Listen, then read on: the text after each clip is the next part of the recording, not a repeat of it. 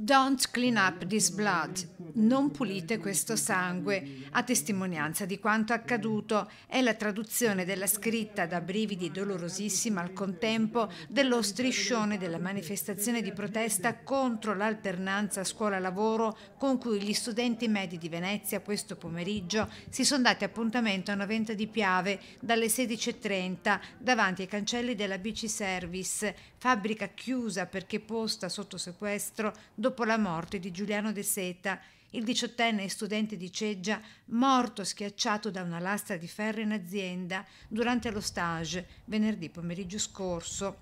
Studenti i cui funerali, notizie di oggi, slittano certamente alla prossima settimana. Le indagini in corso, sebbene procedono a ritmi celeri e condotte dal PM della Procura di Venezia, la dottoressa Antonia Sartori, mirano a stabilire con esattezza chi fosse il tutor che affiancava Giuliano al momento della tragedia. E il punto sta tutto qui. Il tutor, in assenza della persona per così dire ufficiale, sembra quel venerdì pomeriggio scorso fosse quello effettivo, cioè la persona nominata tale in quel determinato frangente. Ed ora ci si chiede chi era. E stabilito questo, la domanda successiva è ne aveva le qualità?